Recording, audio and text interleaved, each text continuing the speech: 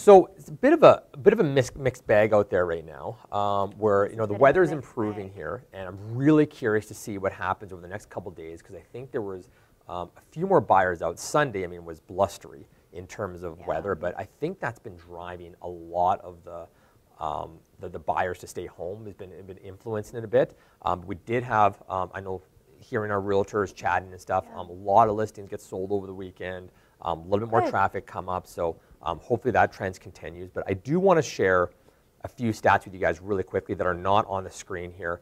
I pulled the statistics from March 15th to February 15th of 2017 and 2080, so comparing the same time periods. Because even, I could pull it to today, mm. but it takes a bit for people to record all of their sales that happened over the right. weekend.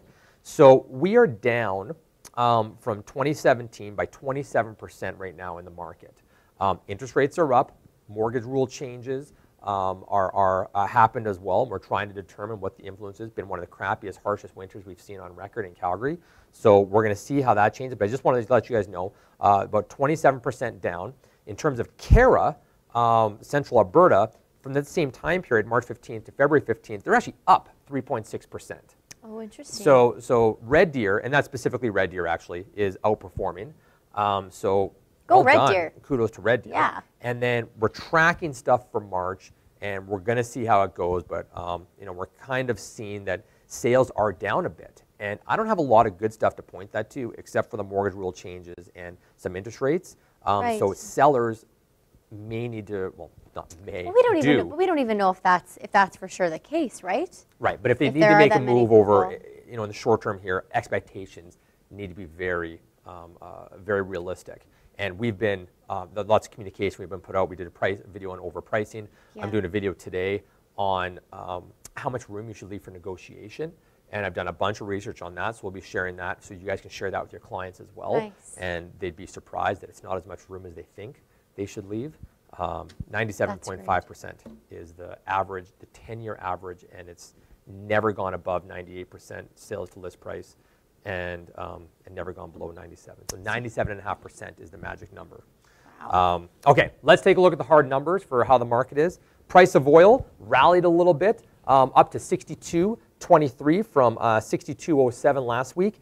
And the Canadian dollar took a bit of a hit down to 76.36. That's because Canadian interest rates, the feds are really cautious to potentially raise rates right now. They're, they're not going to do it. Um, there's no plans to do a rate this second, but the U.S. is talking about it. So when you compare the two, that's causing the U.S. dollar to climb and the Canadian dollar to fall. And speculation says that the Canadian dollar is going to get worse and worse up until the end of the year. And that's right, because if, if, if the, the Canadian, yeah. the Bank of Canada does not raise interest rates, um, then investing in our currency um, isn't as lucrative. And yes. so that will drive our Canadian dollar weaker compared to the U.S. Absolutely. Compared to the greenback, as they say. The greenback. Okay, number of listings um, up a little bit, which is nice to see. Metro Calgary, 6,065, um, up 277 from 5,788. Red Deer is also up with 32 new listings, and they are sitting at 666 in their market. Um, as for the months of inventory in Calgary, we're sitting at uh, 4.97 overall. This has slipped a little bit because um, supply goes up a little bit and the demand hasn't kept up quite the same. So sitting at 4.97 months of inventory. Single family homes just just teetering in that balanced market. They're still balanced for single family homes. Um, as for our detached homes, as for condos here, obviously the slow driver of the marketplace, sitting at 6.99, easily in a buyer's market.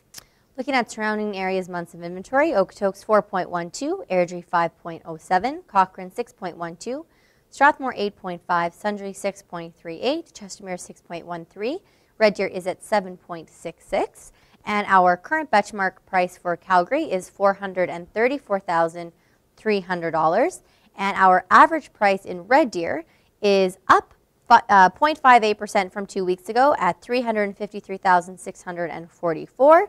And condos are also slightly up from two weeks ago at 230,224 for their average price. So good job seeing the Red Deer market um, outperform over Calgary right now, um, which, is, yeah. which is good to see. That's so great to see. Not good to see from Calgary's perspective, but good to see from Red Deer's perspective. The one thing that we should also also mention, and, and it literally only it's because we have Milo coming up, and we had a conversation with Ann-Marie Lurie a little while ago.